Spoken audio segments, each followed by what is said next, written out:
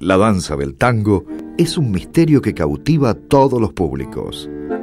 La sensual combinación del hombre y la mujer en un abrazo de tango provoca admiración y curiosidad. Cientos de miles de aficionados en el mundo entero intentan practicarlo y descubrir los enigmas de este baile único. Los secretos del baile es otro de los misterios del tango. Se va por un compromiso, don Pepito Avellaneda, pero finito se queda para sacar viruta al piso. El icono del tango es la pareja de bailarines milongueros abrazada al compás del 2x4.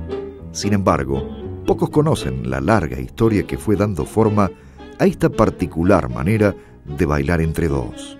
Los hombres y las mujeres constituían dos grupos y esos dos grupos estaban relacionados como tales, como grupos, uno con el otro, en eh, la coreografía durante bastante tiempo, digamos, por no decir varios siglos, digamos. Eh, con el correr de ese tiempo se va modernizando toda la sociedad y se va permitiendo que este, vaya apareciendo el sujeto coreográfico de la pareja, ¿no? Una pareja que primero es simplemente este, virtual, o sea, es un hombre y una mujer que se desprenden del grupo por un compás, o por, unos pocos compases y después vuelven a ese grupo. Este, y cada vez con las danzas, este, el, progreso histórico de la danza occidental va haciendo que esa pareja se constituya ya como una pareja individualizada en dos personas. En la historia de la danza, los llamados bailes de cuadrilla como el minué y la gabota lentamente dejan el lugar a danzas de pareja enlazada, como la banera, el chotis y el vals. En su momento el tango incorpora su sello distintivo, el abrazo. El vals introduce el giro en, el desplazamiento y, bueno, este, soluciona el, conflicto espacial este, en la coreografía de esa forma, digamos. Y luego aparece el monstruo del tango, que, digamos que revienta todo y que de alguna forma este, eh, es casi insuperable desde ese punto de vista, ¿no? porque abraza a la pareja. O sea, la pareja, además de estar enlazada ahora, es abrazada. El abrazo del tango se convierte en un símbolo. Poco a poco, con el despuntar del siglo XX, los bailarines configuran un estilo arrabalero y contundente, el estilo canyengue, cuyo máximo exponente es el mítico bailarín apodado el cachafaz, todavía recordado por los bailarines que le siguieron. Con el brazo estirado, sacando el, traste, baja un poquito el brazo y, salíamos.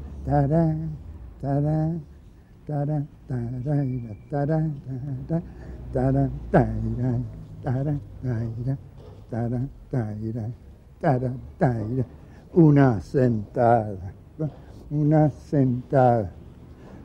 Y acá lo que llamaríamos un corte, que era arrimar todo el cuerpo de la mujer sobre ella.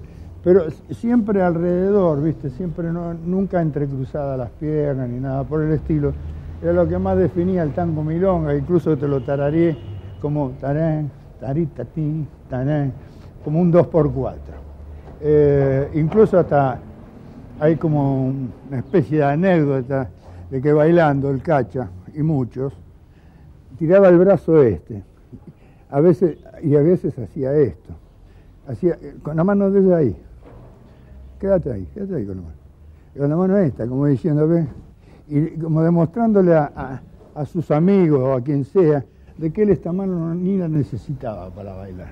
Una detención era un corte, o sea, la pareja corta su traslado, su desplazamiento, ¿para qué? Para hacer figuras.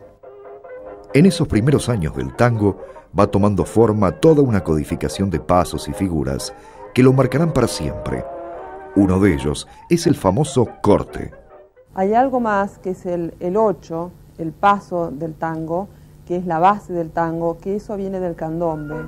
Las características originales de esta danza, como el tango mismo, se ligan a la vida cotidiana de las clases populares del Buenos Aires de antaño. El caso del paso del bolsero es muy interesante porque es el movimiento que hacían los estibadores del puerto, cuando aún no existía el puerto en realidad. ¿El puerto qué era? Bueno, el puerto era el riachuelo y un tablón que iba del barco hasta, hasta la costa, hasta la tierra. Y entonces eh, el, el, estibador tenía que cargar con una bolsa al hombro, casi siempre el hombro derecho, y entonces avanzaba un poco ladeado, un poco encorvado, eh, con pasos cortos y, apresurados para no perder el equilibrio eh, en el tablón, mm, dejaba caer la bolsa y giraba sobre su propio eje y volvía a recibir lo que le tiraran desde el barco. ¿no? Bueno, esto es un paso típico del tango.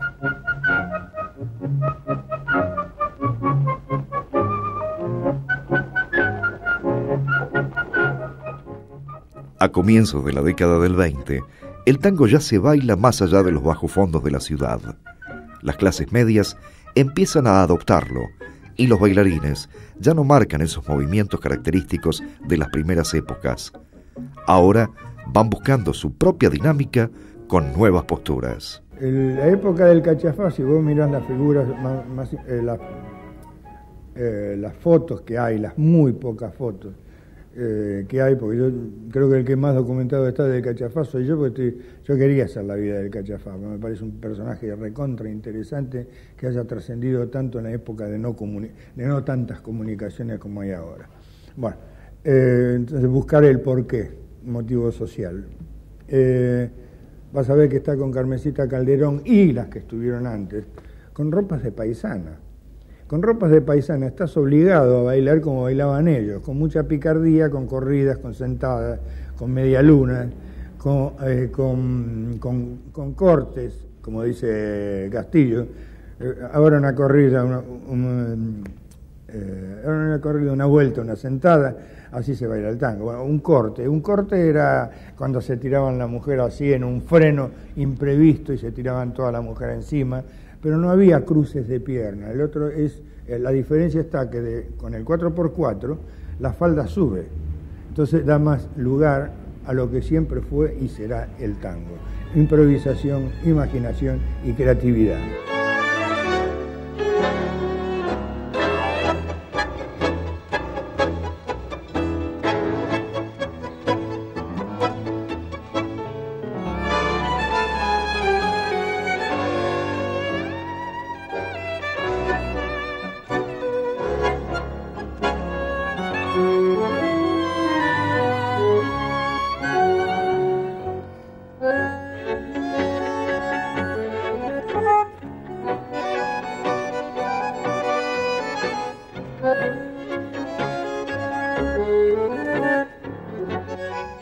Empiezan a inventar, a improvisar, pero al mismo tiempo a inventar cosas nuevas.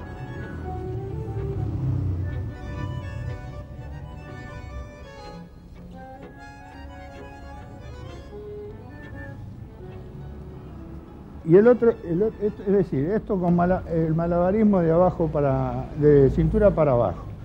Pero el otro, ahí estaba, y no hacía casi ningún paso, que era el considerado el tango, ese era el tango orillero y este era el tango salón. Una cosa muy, muy pensada, muy tranquila, muy a tiempo, respetando la música y a la, chica que tenía, y sin perder esa elegancia total que parecían almidonados. Pero era, todo el tango constante casi sin ningún paso, no necesitaban paso. Eso a veces dicen de que para bailar el tango se necesitan pasos. No, se necesita saber sentir la música, así como ellos podían hacer un tango salón sin paso durante los tres minutos que duraba la pieza y el otro se mataba haciendo de otra forma. Eh, eran, los dos estaban bien.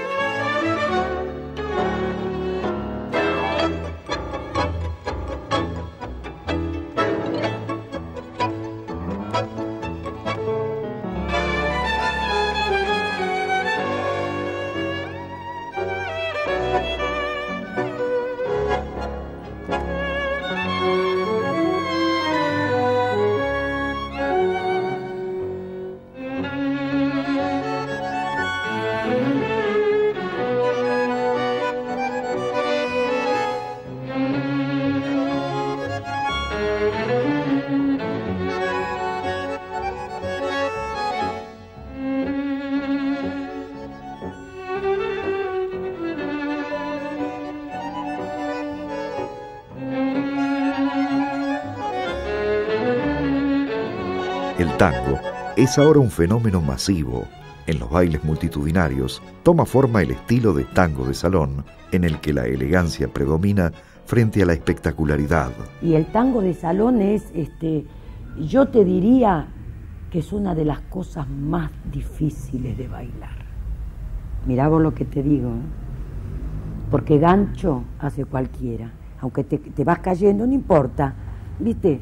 Pero el tango de salón tiene que estar muy bien parado y lucir esa colocación de pie tanto del hombre como de la mujer. Yo te lo comparo con el folclore. Malambo, yo misma, a mí me enseña, me ponen a zapatear un mes y te bailo un malambo, malo bien, pero ¿y la samba qué? Por estos años, los hombres ya no necesitan reunirse en la calle para practicar el tango. Ahora se multiplican los salones con días precisos para el entrenamiento de los milongueros.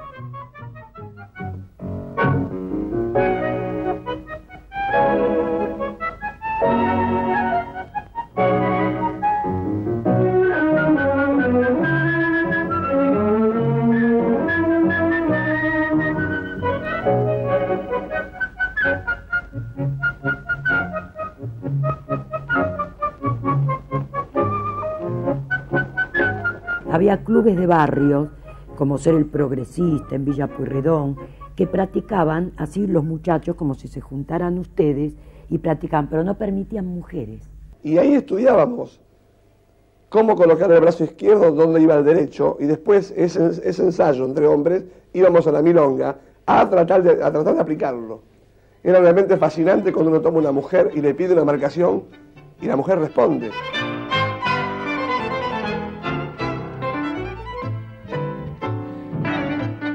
El club te daba el espacio. Y vos tenías que pegar un pequeño óvulo para entrar y después se juntaban ahí 50, 60 o 100 hombres y practicaban entre ellos, en el cual incluso vos tenías que observar una buena conducta de saber diferenciar los niveles. Es decir, había como un escalafón. El que no sabe nada, que era yo, el que más o menos sabe, y el que sabe mucho. Y ahí vos veías cosas también entre ellos practicando, que después ni en la milonga lo podían llegar a hacer. Practicaban y sacaban paso, era una constante usina de, de, tratar entre ellos mismos. Ahí conocía el negro lavandina, petróleo. Los dorados años 40 dejan grabados en la historia del tango los pintorescos nombres de bailarines célebres. Cacho Lavandina, Petróleo, Pepito Avellaneda. Junto a ellos, miles de milongueros anónimos siguen forjando pasos y figuras. Y me contaba Petróleo que Cacho Lavandina era albañil. Entonces estaba trabajando y subía los baldes con la rondana. ¿Sabes qué es una rondana? La rondana es que hay una cuerda, es una, Con una rueda. con una rueda Para subir los, para subir los baldes, los baldes. al andamio. Entonces Cacho Lavandina era albañil. Entonces se, lo- se le ocurrió girar alrededor de la cuerda, Colgado de la cuerda. colgado de la cuerda. Entonces a la noche lo, agarra y dice, Carlito, Petróleo, ¿sabes que se me ocurrió girar? Y entonces, a ver cómo, porque Petróleo es muy inteligente. Entonces colgó una cuerda y entonces le decía, gira un, giro más, un giro más. Y ahí, dice, si lo hacemos con las mujeres, y ahí empezaron los giros en el tango.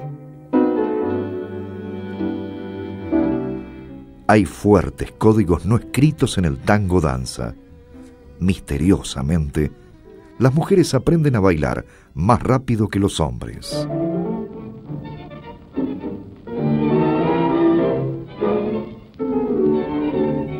La historia del tango danza registra nombres ilustres para los iniciados, pero a la vez anónimos para las grandes carteleras.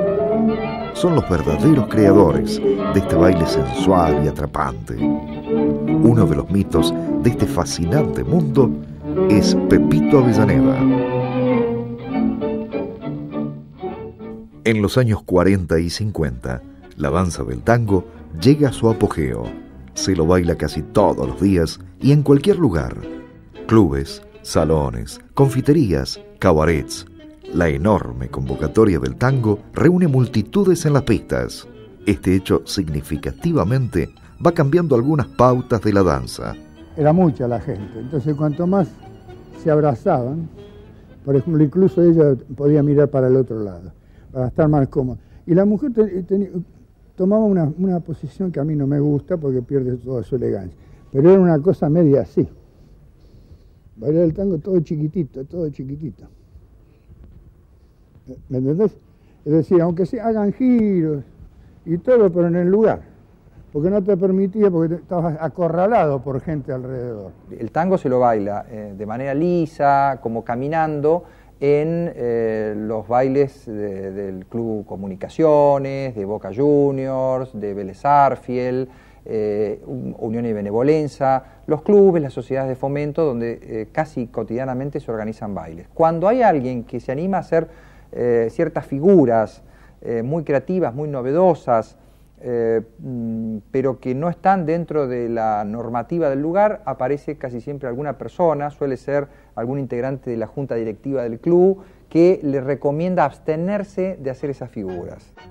Los códigos no escritos de la milonga marcan las pautas de comportamiento en la pista y también fuera de ella. No se puede bailar con cualquiera. No se puede bailar de cualquier modo. Juan Carlos Copes y María Nieves recuerdan su etapa como bailarines aficionados en el mítico Club Atlanta del barrio de Villa Crespo, en el que existía un verdadero escalafón implícito, de acuerdo al nivel de los asistentes. Atlanta era una cosa muy, muy, es como si fuera esta mesa. Entonces la entrada estaba acá. Y de este lado, y justo sobre la derecha, se juntaba lo que se llamaba la provincia. Acá nos poníamos las chicas blancas. Mirá vos cómo eran. Después, los hombres se ponían todo como en una diagonal, pero había cientos de hombres así. Y del otro costado, yo te digo todo eso porque lo sentía que hablaban los hombres estaban las chicas, este, las morochitas, ¿me entendés? O sea, había como una cosa racial también. ¿eh? Entonces estaban, este, eh, hasta aquí eran las que no sabían nada, hasta acá era un poquito más, un poquito más y la que sabíamos dentro de la provincia. Lo mismo pasaba con la de la capital, buena, muy buena, excelente.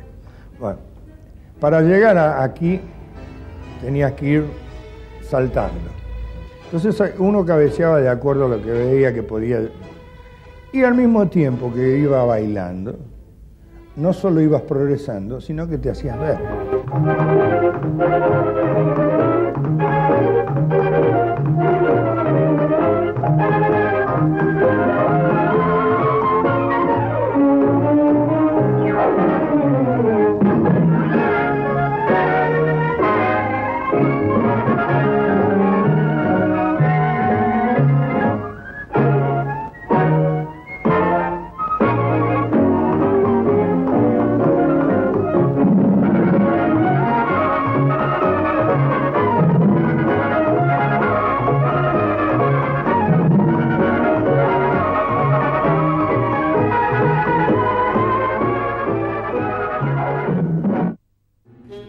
Código de la milonga hay una regla de hierro.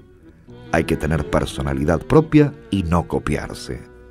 Para que te den el carnet de, de milonguero, no bastaba con que vos hicieras ponerle todo sábado y domingo lo mismo. O sea, esperaban cada sábado y domingo que vos lleves pasos nuevos.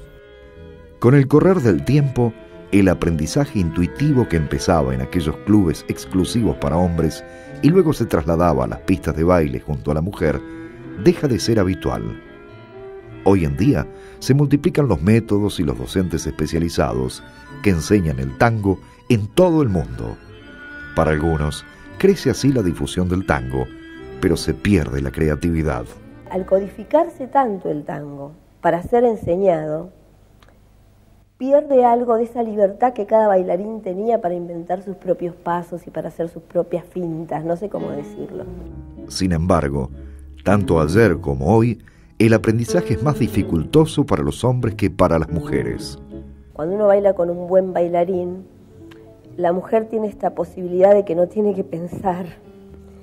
Y el hombre, si hay mucha gente, es el hombre el que lleva a la mujer por los lugares donde, donde hay que ir, digamos, sin que uno se golpee con otro, el hombre marca el tiempo. En boca de un hombre, esta afirmación parece teñida de cierto machismo tan común en el tango.